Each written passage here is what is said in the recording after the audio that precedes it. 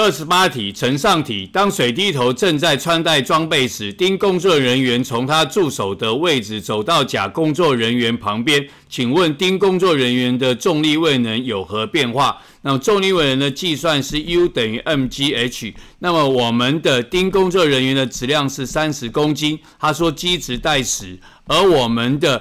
丁呢，从原位置跑到甲旁边呢，它的高度呢，从四十公尺变成二十公尺，所以呢，他们三十乘以十乘以二十呢，就是会变成六千。因为我的高度是减少的，所以呢，我就减少六千焦耳。所以第二十八题问我们说，请问丁工作人员的重力位能有何变化？我们答案选的是猪，减少六千焦耳。